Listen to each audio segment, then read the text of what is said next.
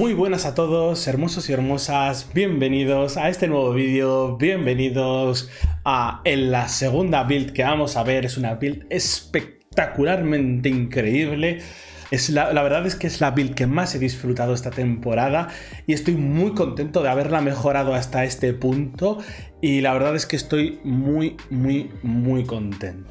Es una build que me ha servido para mapear como Dios, para hacer un montonazo de contenido, para hacer incluso algunas peleas de Maven como los bosses de brecha y la verdad es que toda la currency que conseguí después lo hice gracias a esta. De hecho, podemos decir que he gastado incluso más de un mirror en mejorarla y, y bueno... Mmm, no quiero tampoco explayarme mucho y quiero que pasemos a ver directamente cómo es la build, cómo funciona y cuáles son sus puntos más fuertes. Bien, ¿Cómo funciona la build? La build es Tornado Shot, ¿no? Ya lo estáis viendo, es esta habilidad que se lanza, esas cositas eh, negras. Creo que con sin skin a lo mejor se puede ver, apreciar mejor, pero son esos pequeños eh, proyectiles que vemos eh, que dispara. Y al mismo tiempo forma parte los proyectiles secundarios que lanza, es decir, lanzas un proyectil que suelta otros dos. En este caso son más porque cada vez que añadimos, un proyectil a la build, se nos añade un proyectil primario y otro proyectil secundario. Digamos que Tornado Shot, como bien podéis ver que hice la gema, eh, lanza lo que es el Tornado Shot y tres proyectiles secundarios. Y cada uno hace el mismo daño. Es decir, si tenemos 5 millones en el primer proyectil, también tenemos otros 5 millones en el proyectil secundario. Solo que lanzamos, por cada proyectil que lanzamos de Tornado Shot, se lanzan tres proyectiles mínimo. Repito, vamos a ir creciéndolo hasta el punto en el que ahora mismo lanzamos 9 proyectiles ¿vale? De los cuales, pues, eh, si no me equivoco, son 11 proyectiles secundarios, ¿vale? Eso es bastante, bastante tocho. Y en este caso diréis, Vilar, Tornado Shot no es una de las gemas nuevas. Sí, correcto, no es de las gemas nuevas, sino que la gema nueva que traemos en el vídeo de hoy es Focused Balista. Gracias a Focused Balista y a una combinación que ahora os explicaré, Tornado Shot se ha convertido en la mejor habilidad de arco, de daño no caos, ¿vale? Que hay en el juego. Es decir, sirve, es la hostia para limpiar, es la hostia para bosses, es la hostia para escalar, es la hostia en general. ¿Vale? Es muy probable que la siguiente liga, Nerf of Exile, pues la, la atice, pero bueno, vamos a soñar con que se mantenga así y estoy seguro de que ha gustado a tanta gente que la próxima liga aún seguirá siendo funcional. ¿Qué es Focused Ballista? Focused Balista es una habilidad que permite que Tornado Shot se pueda convertir en una balista, pero en vez de atacar automáticamente como las habilidades normales que van con balista totem, esta vez solo ataca cuando tú atacas. Aquí como podéis ver, cuando spameo el autoataque, el autoataque este normal, el, el ataque normal, la Focused Balista es la que dispara el Tornado Shot. Yo solo estoy pegando autoataques. Aquí se acaban las balistas y podéis ver que solo estoy pegando autoataques normales, ¿no? Quizás aquí el Void Fletcher y la hidrosfera hacen que parezca demasiado, pero para que lo veáis. ¿Veis que lanzo proyectiles? Y bien, pues cuando pongo balistas, disparan ellas el Tornado Shot. De hecho, puedo ponerme aquí y siguen disparándolas desde el otro lado, como podéis ver. ¿Qué hace que esta build sea tocha? Bien, eh, en este caso vamos con The Die. The Die, una de las cosas que hace es que te da chain gratis, ¿vale? ¿Qué es chain? Chain es como encadenar, es cuando una flecha golpea un lado, tiene una posibilidad de de cambiar de, de, cambiar de dirección, básicamente, de ir a golpear a otro lado. Bien, en este caso, al tener solo un chain, cada vez que nuestras flechas golpean a un enemigo, aparte de hacerle daño, se dirigen hacia otro. Lo que genera que todos nuestros proyectiles, todos, repito, primarios y secundarios, que golpean a un enemigo, se teledirigen hacia otro y vuelven a lanzar más proyectiles, porque recordemos que Tornado Shot, aparte de dividirse, o sea, aparte de golpear, lanza otros proyectiles. No, pues en este caso funciona igual. Y diréis, Pilal, lo que estás diciendo es que hay un montón de proyectiles. ¿Y de qué sirve lanzar un chain? Bien, aquí está una de las cosas clave de la build. El chain, a diferencia de otro tipo de interacciones de proyectiles, por ejemplo, el fork, el fork lo que hace es que un proyectil que va en línea recta se divida en dos. ¿Vale? El, Pierce lo que hace es que el proyectil atraviesa a los enemigos y sigue su trayectoria, y el Chain hace que se teledirija hacia otro enemigo. Es decir, automáticamente cuando un proyectil golpea a un enemigo, se teledirige a otro. ¿Vale? Es absurdamente espectacular ese efecto. ¿Por qué? Porque utilizamos hidrosfera. Hidrosfera es esta bola de aquí. Esta bola, los proyectiles cuando la golpean también rebotan, ¿vale? Porque permite que los proyectiles reboten en ella, ¿no?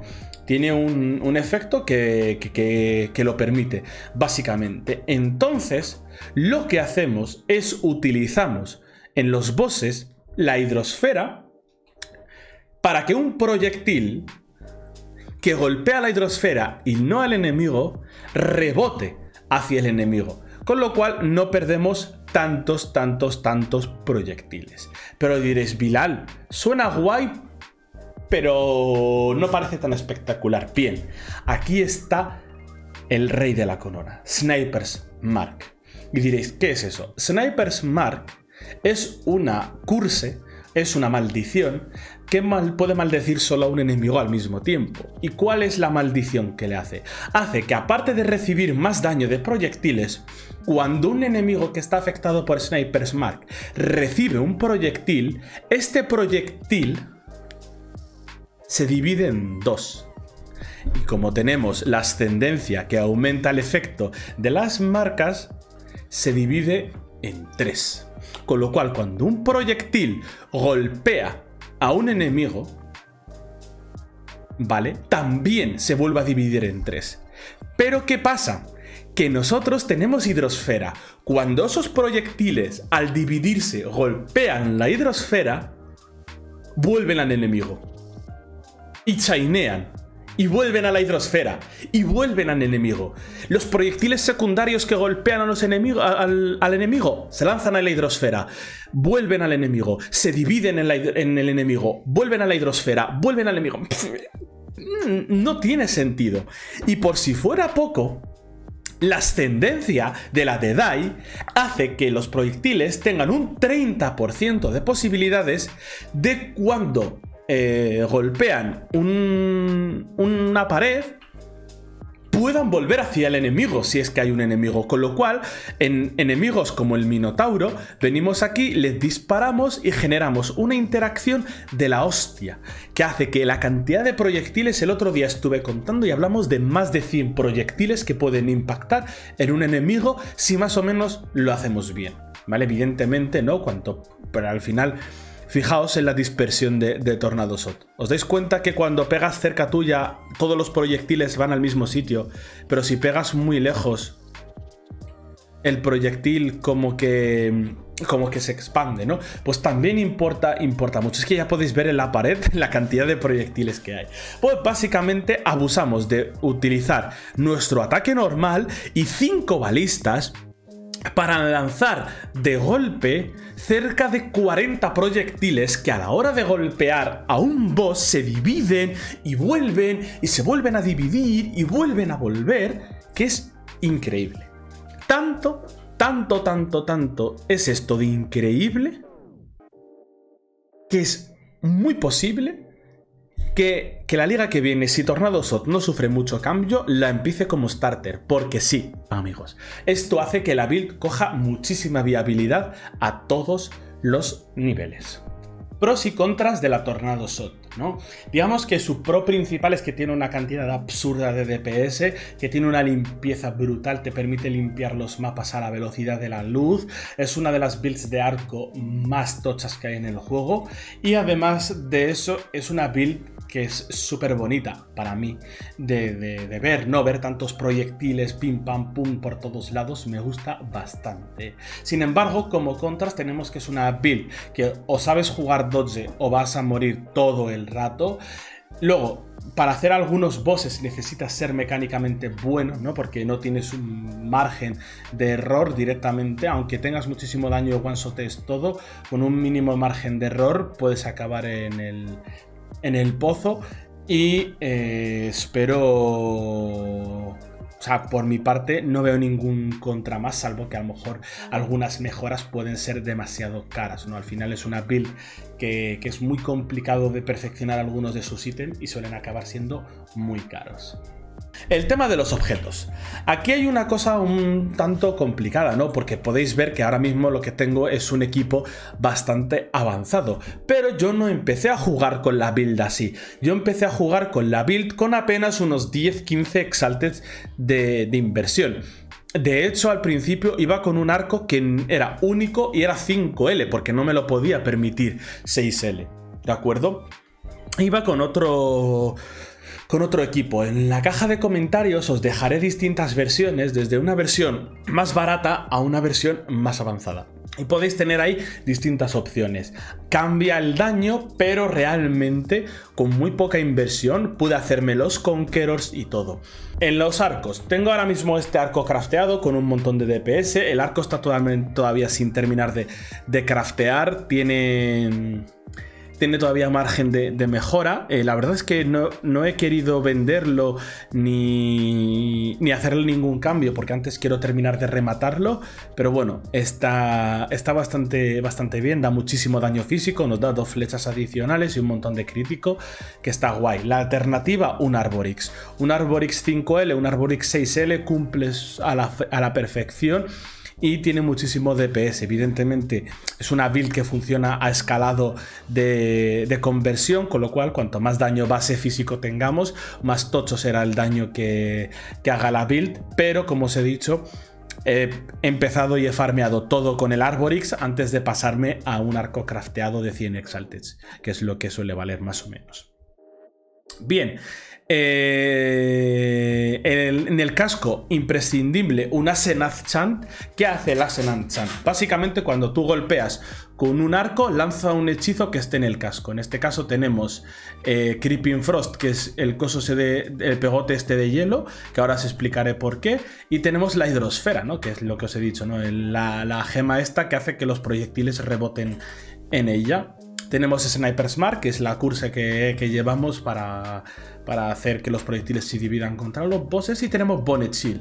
¿Qué hace Bonnet Chill? Aumenta el efecto del chill. ¿Qué es el chill?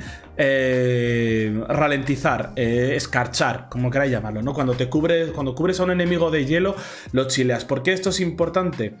Porque Bonnet Chill hace que los enemigos chileados eh, reciban más daño, básicamente, en, proporción a la cantidad del, chill que les afecte. Por ejemplo, si le, si le haces un 20% de chill a un enemigo, este recibe un 20% más de daño, ¿vale? Eso es muy, muy tocho y se nota bastante, la verdad. Y bueno, esta combinación, ya os digo, es absolutamente demencial en el casco. Contra bosses los destruyes. En este caso, en el Quiver, un Void Fletcher. Tiene que ser corrupto sin el implícito de Pierce. ¿Por qué? ¿Qué es Pierce? Lo que hemos dicho antes, Pierce es el efecto que tienen las flechas al atravesar un enemigo, que al golpear a un enemigo, pues sigan su trayectoria. Si el Quiver no está corrupto y tiene el implícito de Pierce, toda esta interacción que ha habido hasta ahora y que os he estado explicando se va al garete, no funciona. Con lo cual es muy importante si vais a pillar un Void Fletcher aseguraros de que esté corrupto y sin, y sin eh, el implícito de, Pierce, ¿no? De Arrows Can Pierce and Additional Target. Pues buscaos uno corrupto que no, no lo tenga. Evidentemente, cuanto mejor sea la corrupción, pues mejor, pero bueno, yo tampoco he querido gastar, gastar mucho. En tema de los guantes, yo tengo, necesitas o deberías necesitar unos guantes que te ayuden a hacer conversión, ¿no? Hemos dicho que la build necesita un 60% de conversión de físico a cold. ¿Por qué?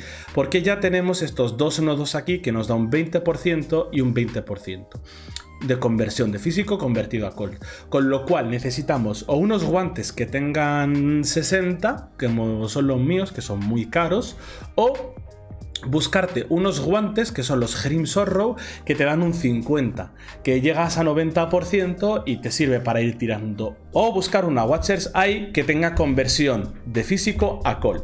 Mientras estás afectado con Hatred, que no es mi caso, ¿no? Porque como yo ya tengo la conversión, tengo una Watcher's Eye de daño, pero pues ahí está. ¿De acuerdo? Luego, en, las botas es muy importante tener muchas resistencias, ¿vale? Y movement speed. En este caso, yo aparte también tengo Cannot Be Chilled, Cannot Be Frozen y Elusive, que son unos mods que me vienen muy bien para la, build, sobre todo el Elusive, que nos da un montón de velocidad y dodge. Y podéis ir con unas botas simplemente con resistencias y tirar para adelante. Luego anillos, tengo un Mark of the Elder con un que lo que hace es que incrementa tu daño un 91%. Si el otro anillo es del Shaper, tengo aquí un anillo fusionado del Shaper y el Hunter. Eh, y pues es una maravilla esto en cuanto a cantidad de daño, es una locura lo que da. Si no puedes permitirte un anillo del Shaper o, buscas otra combinación, puedes llevarte simplemente uno de estos de síntesis de incremento el efecto de, de y funciona igual también. Como podéis ver, el otro anillo solo lo llevo con el Elemental Weakness y un pelín de resistencias para ir capeado. Mm, es muy mejorable este anillo, pero tampoco quería herniarme en, en buscar la mejor, la mejor opción. Luego cinturón, pues o Headhunter o un cinturón con vida y Elemental Damage with Attack Skill que viene bastante, bastante bien a la build y atributos, ¿no? Porque necesitas algo de fuerza y es muy probable que necesites que tu cinturón de, de, Vice en este caso tenga fuerza para poner una, una Abyss, ¿no? Por ejemplo, una de estas que tenga daño físico, ataque speed, crítico. En esta yo llevo además un poquito de resistencias para poder, para poder capear que voy justo Justibiri, Justibiri, ¿no? Sin esto, el Colt no me capea. Dicho, dicho esto, la armadura es una armadura que parece que es compleja, que tiene crítico, un hit y una curse adicional. Recordad, tenemos la curse de Sniper's Mark y la curse de Elemental Weakness. Gracias a la armadura podemos aplicar dos curses. Y bueno, es fácil de craftear y es barata, no cuesta más de 8, 9, 10 Exalted si la quieres pocha. Y craftearla cuesta bastante menos. Lo que cueste la Waken Orb, la base 6L y un. con un sufix Scan Change, perdón. Si queréis saber cómo se hace o lo que sea, me lo dejáis en comentario y a lo mejor puedo subir un vídeo crafteando una armadurita de, estas. Bien, y creo que más o menos esto es. Los frascos, pues mira, un Cinder Swallow de, de maná es muy importante, aparte de darnos un montón de crítico, un frasco de Movement Speed, ¿no? Como siempre. Y eh, en este caso un Dying Sun. ¿Recordáis toda la interacción que os he dicho de los proyectiles? Pues el Dying Sun nos da dos proyectiles extra que además se convierten en 3 porque tenemos incrementado el efecto un 50%. Así que realmente el Dying Sun nos da 3 proyectiles cuando lo, lanzamos. Yo tengo un Bottle Faith para aumentar el daño, pero puedes ir con un Diamond Flask perfectamente de crítico y ya está. Con eso ya tiras para adelante. El tema del amuleto lo he dejado para el final porque el amuleto va por gustos, ¿no? Yo utilizo el Joke y utilizo el Elemental Weakness porque voy con Headhunter y como cojo daño de, otros elementos, pues voy con este. Pero si vas a ir full cold y demás, pues te viene de puta madre tener eh, el Pandemonius. Y si tu arco ya es muy de endgame y demás, puedes ir por un réplica del Hirris, que lo que hace el réplica del Hirris es permitirte llevar otro aura más, que es Herald of Purity, que te aumenta el daño físico. Base lo que implica que escalas mucho, mucho más. Hay tres, tres amuletos que podemos utilizar. Ahora vamos con las gemas.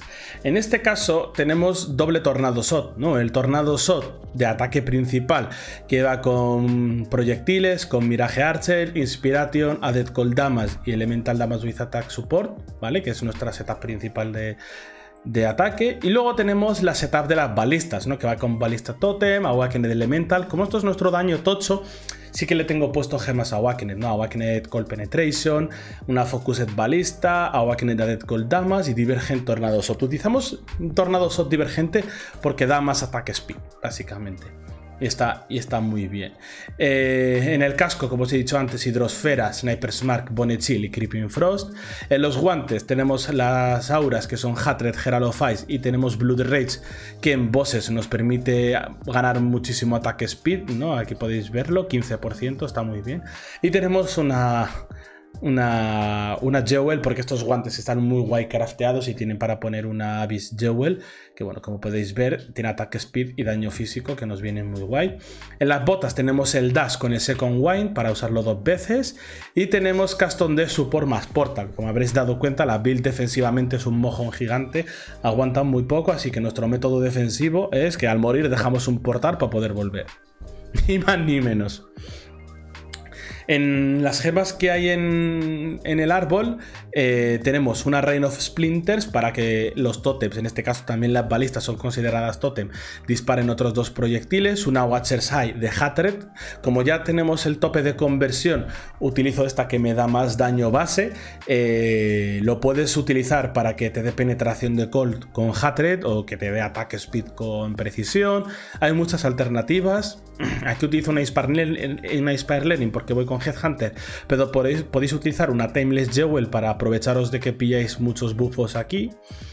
Aquí tengo el doble Lionel's Fall, que mucha gente me ha preguntado, Bilal, ¿por qué llevas doble Lionel's Fall? Lo que hace Lionel's Fall es transforma los nodos que hay cerca en nodos de arco. Si os dais cuenta, estos nodos de aquí son nodos de, de garras, de claw, pero al poner la Lionel's Fall transforma esos nodos en nodos de arco, ¿vale?